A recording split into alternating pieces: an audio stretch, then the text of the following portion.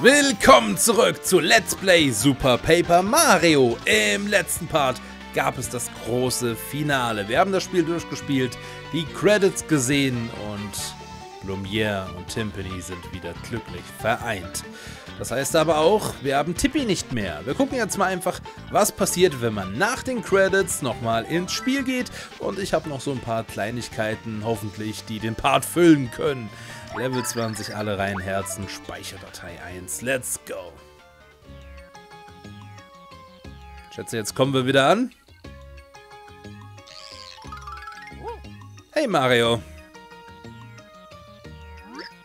Oh, ein voller Erfolg. Hey Merlon. Ich habe mir Sorgen gemacht, weil Tippi so lange weg war. Es war wohl Magie im Spiel. Es ist schon lange her. Diese Stadt, nein, alle Städte sind dank dir wieder sicher. Bitte nimm meinen Dank an. Sag mir, hast du etwas von Tippi gehört? Nee. Ach so. Ich leider auch nicht. Scheinbar hat niemand sie gesehen. Aber irgendwie bin ich mir sicher, dass es ihr gut geht. Ja, es geht ihr gut. Und sie ist sicher glücklich. Oh, das klang jetzt aber ziemlich traurig, oder? Nun, du warst so lange fort, sicher willst du auch ein paar alte Freunde besuchen. Hey, ich war im letzten Part noch hier, gar nicht lange her. Nimm dir Zeit. Ich bin hier. Du kannst gerne jederzeit vorbeikommen. Auf Wiedersehen, werter Freund. Ja, Punkt. Es ist ein bisschen ungewohnt, wenn, wenn, wenn Tippi nicht mit uns redet, ne? Man kennt's nicht. Wir können zu Peach, Bowser und Luigi wechseln, kein Problem. Aber ist es wirklich dasselbe wie eine, die die ganze Zeit, die ganze Zeit sagt, oh, wir müssen zu Merlon. Wir müssen schleunigst das nächste reine Herz finden. Sehen und die Dunkelheit am Himmel. Äh, welche Dunkelheit? Nein, keine da. Ich sag nochmal hier, hi. Warum hast du den Schmöker jetzt noch hier liegen? Ich meine, es ist doch vorbei. Oh, ich bin froh, dass ihr es geschafft habt. Wie geht es euch?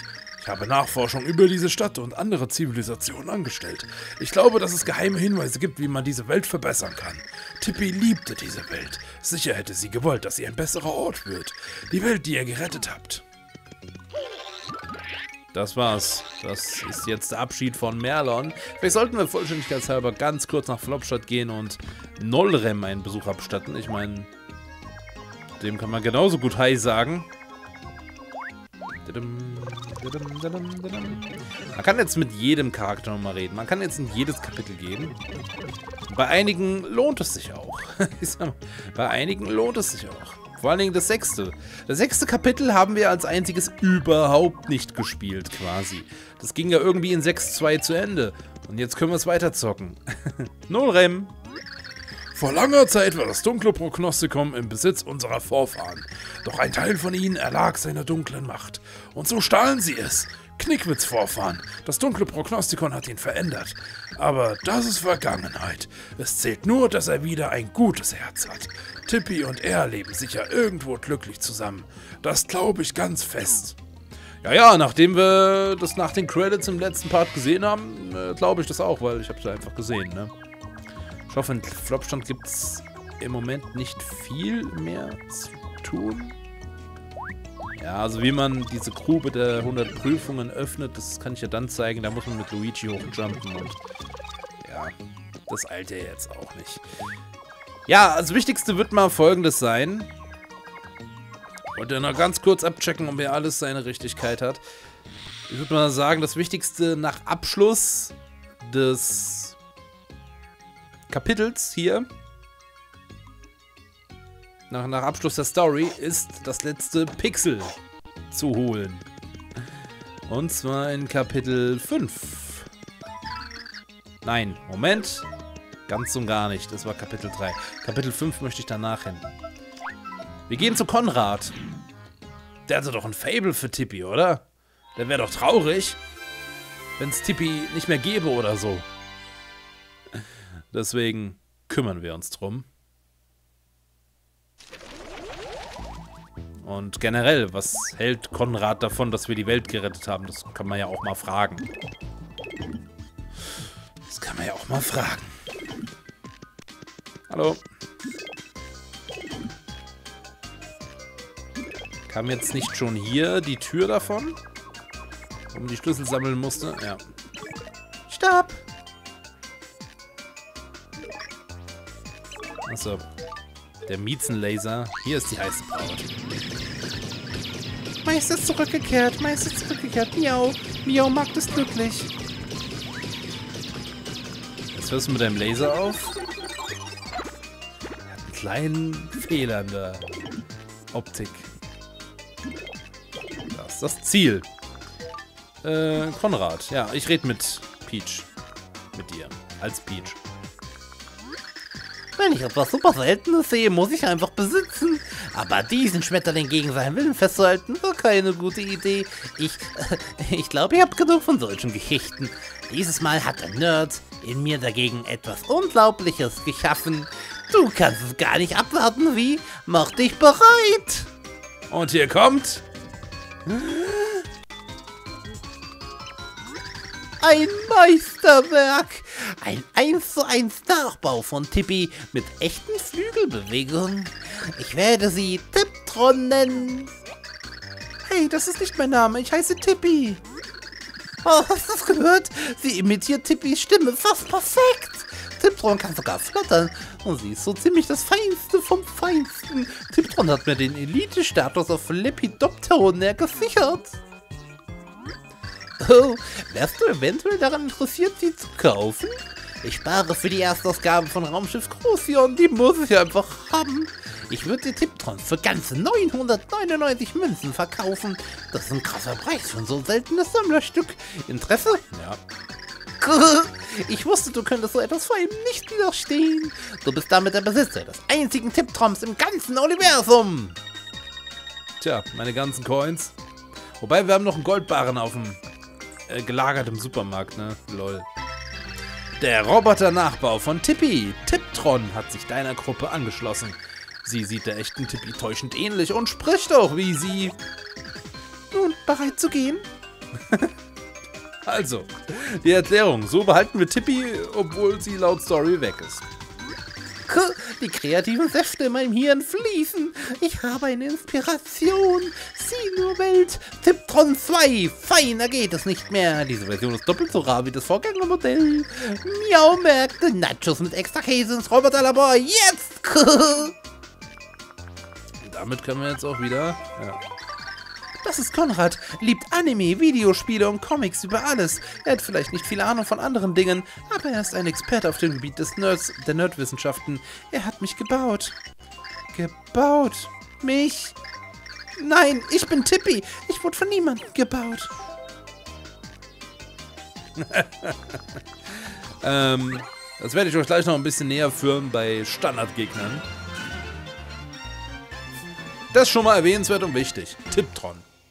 Das kann man nicht einfach so liegen lassen. Ne? Gut. In Kapitel 5 2.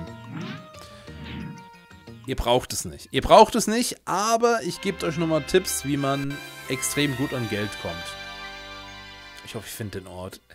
Irgendwo in Kapitel 5.2 gibt es eine goldene Suselwusel. Ich zeige euch erstmal, wie das hier läuft jetzt. Dieser gefährliche Kaktus wird Poké genannt, KP6 Angriff 2. Und dieser Kaktus kann sich bewegen. Ist er nun eine Pflanze oder ein Tier? Er wirft mit dornigen Teilen seiner selbst. Sehr, sehr unangenehm. Einen mit Dorn bestückten Kaktus sollte man auch nicht berühren oder aufnehmen. Hm. Eigentlich, ich dachte, dass hinter jeder Aussage direkt sowas kommt wie, das würde Tippi sagen.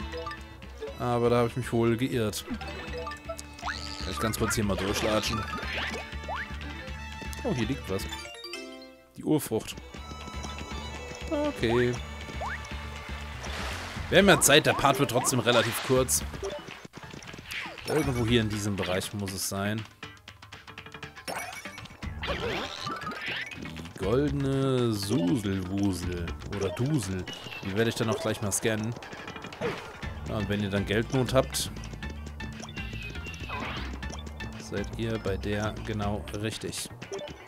Jetzt finde ich die natürlich nicht auf Anhieb. Ist ja klar. Wäre ja zu schön gewesen. Doch, da ist sie. Ha, ohne Schnitt. Eine Suselwusel. Man findet sie nur selten. Zudem sind sie sehr flinke Geschöpfe. KP 30, Angriff 10. Bemerkt man eine von ihnen, flüchten sie sofort. Ihre Lieder sind auch nicht zu unterschätzen. Wirklich keine einfache Beute. Oh. Jetzt ist es in einer anderen Dimension. Okay, das gibt Ärger. Das gibt, das gibt Beef. Blümchen. Ah, die haut doch ab, ne? Oh nein, jetzt habe ich die komplett verloren. Kann das? also im Ernstfall könnt ihr Donnerzorn oder sowas einsetzen. Jetzt hätte ich auch gerne gezeigt, wie viel Geld die gibt. Ich hoffe, die kommt nochmal. Ist ja richtig peinlich gelaufen, Mann. Tiptron. Sag doch auch mal was.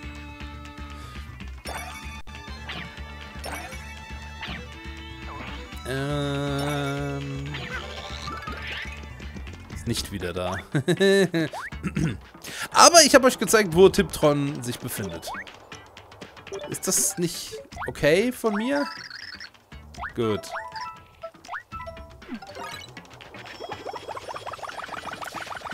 Das ist es wohl. So, als nächstes habt ihr mir gesagt, ich soll in Kapitel 5.1 nochmal nachschauen. Wir gucken.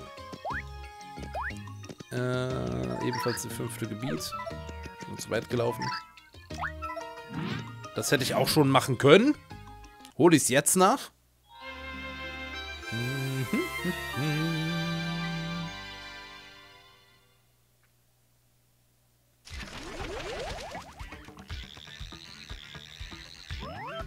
So, so, so. Hallo, Karl. Klippstein ho ho! Klippstein ho ho! Und nochmal wow wow wow!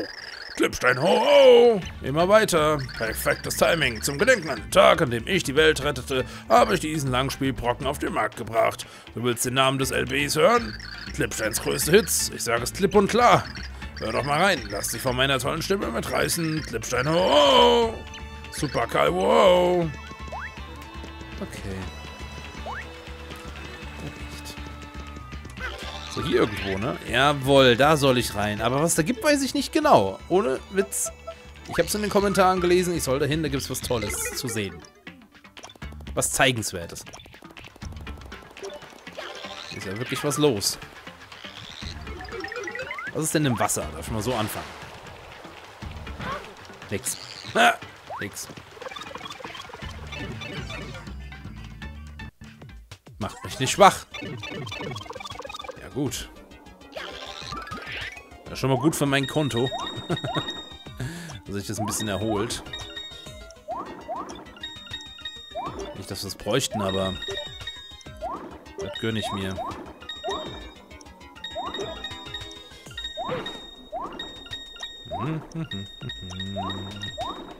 Der Part wird sowieso kürzer sein als die meisten anderen. So. Jetzt bin ich oben. Ach, er! Wacko, ich bin wacker. Ein perfekter Tag im Flippolo. Man meint fast an einem Tag wie diesen könnte nichts Schlimmes passieren, Wacko. Ah, ja, gut, den kennt man auch aus den anderen Games, ne? Wackau, bitte nicht schlagen. Gibt den Wackers Kick wie immer. Höcke eines Wackers Zusatz. Zutat für köstliche Brötchen. Okay. Stimmt. Der wusste ich, dass es den gibt und so. Ich habe den echt nicht mehr. Und eine Kochdisk. Ich noch eine der Kochdisks finden können. Aber das war's, glaube ich. Das war's, glaube ich. Es war halt wirklich wichtig, Tiptron zu kaufen. Und diese Sachen nachzuholen. Ja. Es war fast unnötig, ne? Sind wir mal ganz ehrlich.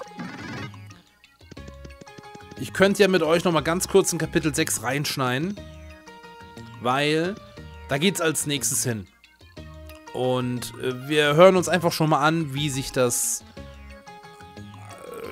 äh, ich sag zusammenreimt. Oder wie, was in König Millets Königreich überhaupt los ist, nachdem die jetzt doch den Weltuntergang.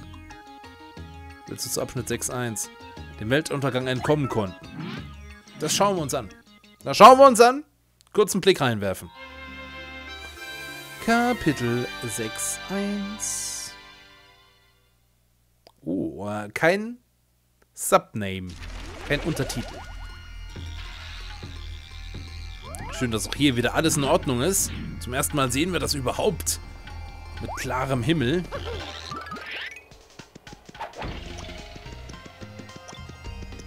Werden wir jetzt von König Millet empfangen?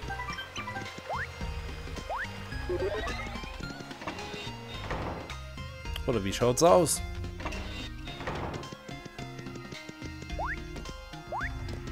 Nein, es beginnt einfach. Ich bin Jade Blooper, Wächter des Ersten. Warte, dich kenne ich doch. Du bist ge vorhin geflohen wie ein räudiger Köter. Das Loch im Himmel ist weg, doch die Herausforderung steht. Willst du den Schatz des Königs, musst du zuerst an mir vorbei. Wenn du den Palast vor dem hundertsten Kampf verlässt, musst du wieder von vorn beginnen. Und du beschmutzt gleichzeitig die Ehre deiner Familie. Okay, es gibt gar nicht große... Uh, was? Hält sogar ein bisschen was da aus. Ich sitze in der Tinte. Du bist stark, der Meister hat dich viel gelehrt. Mögen sich unsere Tentakel eines Tages wieder kreuzen. Das hier, meine lieben Liebenden. Ich hau ab. Ich äh, verschandele den Ruf meiner Familie. Ich habe kein Problem damit. Das machen wir im nächsten Part. Nämlich alle 100 Kämpfer. Freut euch drauf. Ching! Das wird dann im Stream stattfinden. Das heißt, die nächsten Parts sind Ausschnitte aus dem Twitch-Livestream. Wundert euch da dann allerdings nicht über eben das Stream-Layout, Alerts und ja, Einblendungen, was so reinkommt. Habt ihr eine Vorstellung davon? Dann natürlich auch wie immer mit Facecam, denn in Streams wird es immer Facecams geben. In Let's Plays, ich hatte schon mal ein Infovideo gemacht, nicht mehr. Super Paper Mario, das letzte Let's Play mit Facecam, einfach weil ich es schon damit begonnen hatte, habe ich mir gedacht, okay, dann mache ich es auch zu Ende damit, habe ich kein Problem damit. Und ähm, damit ist das hier nicht nur ein sehr kurzer, unspektakulär, äh, unspektakulärer und leerer Part, bei dem ich mich auch viel zu oft verspreche, sondern der letzte reguläre Part mit Facecam. Kann man doch so verbuchen als Randnotiz, würde ich sagen. Schläft Tipptrom auf uns drauf. Hervorragend. All the rest. Ich kann mir denken, dass sie mir noch das eine oder andere in die Kommentare schreibt, was ich noch hätte tun können. Ich sag mal so, es gibt hier und da bestimmt Truhen. Man kann ja auch diese Schatzkarten kaufen und dann die Truhen, die man vergessen hat, holen. Da sind dann irgendwelche Zutaten drin oder so, aber das alles sprengt den Rahmen. Was ich halt noch zeigenswert finde, sind die 100 Recken und die 100 Prüfungen von Flipstadt und von Flopstadt. Und ja, das machen wir noch im Stream, bevor dieses Let's Play offiziell zu Ende ist. Danke heute fürs Anschauen und dabei sein und ja, reißt euren Daumen ab und gebt ihm mir. Bis dann und ciao. Letzter Part mit Facecam. Regulärer Part. Die nächsten Parts sind ja auch mit Facecam, aber eben nicht als Let's Play Part aufgenommen, sondern als Stream. Gut. Bis dann und ciao.